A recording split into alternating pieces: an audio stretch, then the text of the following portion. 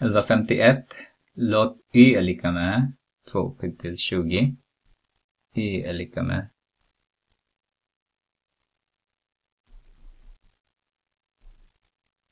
2 upphöjt till 20. Eller? Och bestäm hälften av y. Skulle vi ha hälften av den, så hälften av y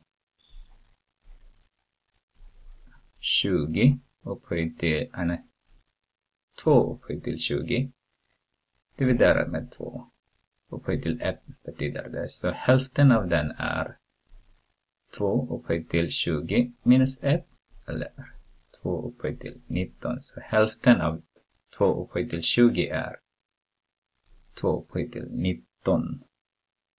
En fjärdedel av i så har vi i fjärdedel är lika med 2 upphöjt till 20 dividerat med 4 eller 2 upphöjt till 20 dividerat med 2 upphöjt till 2.